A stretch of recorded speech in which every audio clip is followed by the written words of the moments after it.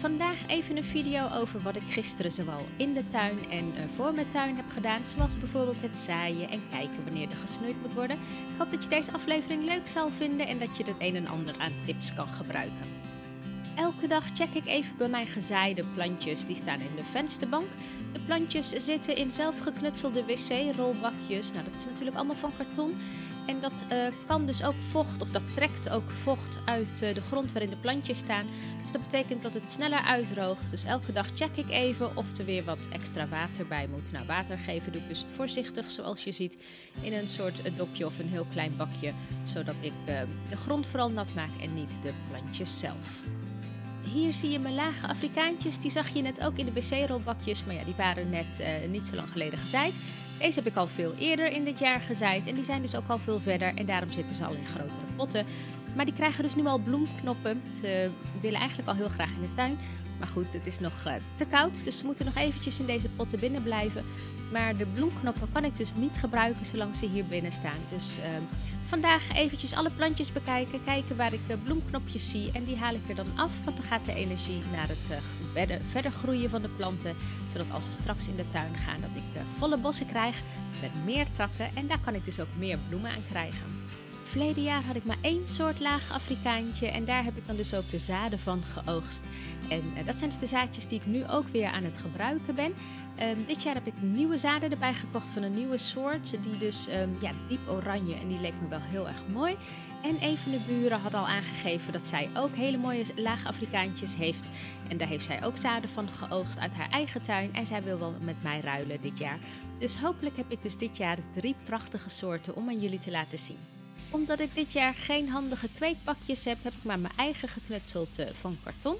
Gisteren ben ik eventjes de petunia's gaan controleren. Kijk, ik ben even aan het tellen hoeveel uh, blaadjes mijn petunia al heeft, hoeveel bladparen. Bij uh, na de derde of vierde bladpaar is het handig om het te gaan toppen. Dus ik probeer even steeds met mijn vingers twee bladparen tegelijk te pakken en te tellen. En dan zie je dus dat daar een heel klein scheutje in het midden zit. Nou, die, daar ga ik dus ehm, uitknijpen met mijn nagels. En dan uh, top ik hem daar. En dat betekent dat het plantje dus uh, energie gaat stoppen en als teken gaat krijgen dat hij dus meer zijtakken moet gaan maken. En dan krijg ik dus een vollere bos met uh, bloemen. Hier zie je dus weer een petunia van een andere soort. Het zijn de soorten die ik eigenlijk allemaal zelf heb geoogst verleden jaar uit mijn tuin. Het is heel voorzichtig. Nou, gelukkig heb ik lange nagels waarmee ik dit ook kan doen. Maar ik denk dat ik het de volgende keer toch met een pincetje ga proberen. Want dan pak ik ook niet per ongeluk een stukje van een uh, ander blaadje mee. Deze petunia's had ik uh, verleden jaar gekocht voor in mijn bloembak. Maar dat vond ik gewoon eigenlijk wel heel erg mooi eruit zien.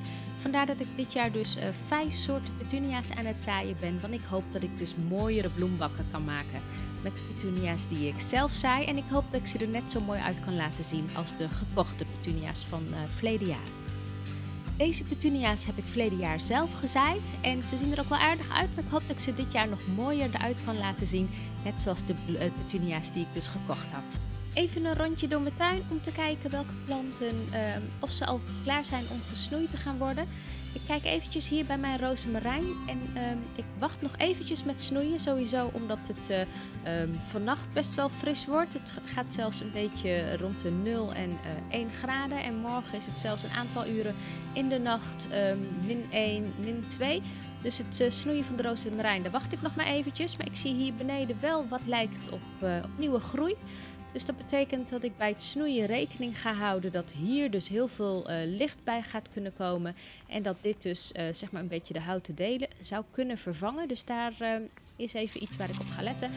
Nou, nu dus nog niet snoeien. Even wachten totdat die koude nachten voorbij zijn. Maar ik ga wel ondertussen even wat kalk geven. Deze roosmarijn heb ik in de tuin omdat ik van een buurvrouw een stekje had gekregen twee jaar geleden. En dat heb ik gewoon in water gestopt en nu heb ik dus mijn eigen roosmarijnplant. Lavendel ga ik nu ook nog niet snoeien. Daar wacht ik ook nog even mee totdat er geen kans meer is op vorst of op uh, een nachtvorst. Verleden jaar, toen het dus uh, ja, zo warm was geweest, of tenminste zo mild was geweest in de winter, heb ik deze lavendel een verjongingssnoei gegeven. Want het was behoorlijk verhoud. Ik had er jarenlang niks mee gedaan. Verjongingssnoei betekent dat ik eigenlijk in het hout heb gesnoeid. Wat je dus normaal gesproken niet zou moeten doen, omdat je de plant dan dus uh, dood zou kunnen maken. Nou, in die video heb ik dat dus helemaal laten zien en uitgelegd. En zoals je ziet, het is, uh, mijn snoei is wel goed gegaan. Ik had ook de planten behoorlijk verzorgd na de snoei. Dit jaar ga ik dat niet doen. Dit jaar ga ik voorzichtig snoeien, want er is wat meer kou geweest. En vooral de kou van min 10 toen een week lang. Dus ik denk dat die wat minder krachtig is dan uh, verleden jaar. Maar ik ga hem dus natuurlijk wel snoeien. En dat ga ik ook zeker aan jullie laten zien hoe ik dat ga doen. Maar nu nog niet. Ik wacht nog even totdat ik lichtgroen zie hier onder in de plant. Dus ik hou wel steeds in de gaten of ik al veel lichtgroen zou kunnen zien hieronder in de plant. En zodra ik dat zie en zodra de dagen wat warmer zijn en geen kans meer is op vorst, dan ga ik snoeien en aan jullie laten zien hoe ik dat doe. Het leuke van in mijn tuin aan de slag gaan is natuurlijk ook dat ik bij mijn ronde door mijn tuin ook kan genieten van wat er al in mijn tuin staat. Op dit moment staat er nog niet veel. De meeste dahlia's die ik altijd graag plant moeten nog komen. Maar weet je, dit ziet er ook al heel erg mooi uit. Ik heb dit jaar de Iris Reticulata Purple Hill. Dat is wat je hier ziet. Die heb ik dus dit jaar erbij gekocht. En ze staan er echt prachtig bij. Samen met mijn krokussen geven ze best wel een uh, mooi aanblik, uh, aangezicht in mijn tuin. Ik heb ook dit jaar salie in mijn tuin staan. Ik heb dit uh, 3 juli heb ik dit gezaaid. Dus ik weet nog niet uh, hoe dit er precies uit gaat zien en hoe het gaat bloeien in mijn tuin. Ik heb het uh, um, gekocht omdat de bloemen me ervan heel erg leuk leek. En mijn man gaat hier geloof ik gebruik van maken in de pasta. Op dit moment wordt de plant gebruikt door mijn, door mijn rups, nee door een rups. Um, ik vind het nog niet dat ik een plaag uh, in mijn tuin heb, dus uh, laat hem maar even lekker eten. Het wordt toch nog uh, gesnoeid waar hij hiervan eet, dus laat hem maar eventjes gang gaan. Snoeien ga ik wel binnenkort doen. Ik wacht nog eventjes deze twee koude nachten af. En dan ga ik binnenkort beginnen met snoeien. Laat in de winter en begin lente had ik gelezen dat je je salie moet snoeien. Dus ehm, binnenkort. Ik heb nog uh, drie bolgrisanten, of tenminste drie grisanten in de tuin staan. En die ben ik aan het snoeien om daar uh, bolgrisanten van te maken. Uh, ik had er zes. Twee die ik gekocht heb twee jaar geleden. En um, een aantal die ik gestekt had. Alleen van de zes hebben er dus drie overleefd. Na die hele koude week van min 10 graden. Nou, omdat er nu binnenkort, uh, omdat er nu vannacht en morgen ook nog even koude nachttemperaturen zijn, doe ik er even s'avonds een potje om mijn uh, grisantjes heen om ze een beetje te beschermen. En uh, ik hoop dat ik ze dit jaar dus ook weer heel mooi kan krijgen tot bolgrisanten zoals het me verleden jaar ook was gelukt. Dit wordt dus het derde jaar voor mijn rode bolgrisanten en daar heb ik dus ook nog een oranje van, want die twee had ik uh, gekocht. Eén stekje had ik, uh, dus, uh, is me dus gelukt van verleden jaar. En ik hoop dus dat ik ze dit jaar dus mooi tot bloei kan uh, krijgen. de buurvrouw die had ook grisanten in de tuin staan. Nou, die mocht ik wel snoeien. Want zij wilde ook bolgrisanten krijgen zoals ze verleden jaar bij mij zag. En de snoei, ja, die stek ik dan dus gelijk. Dus je ziet twee potten met grisantstekjes.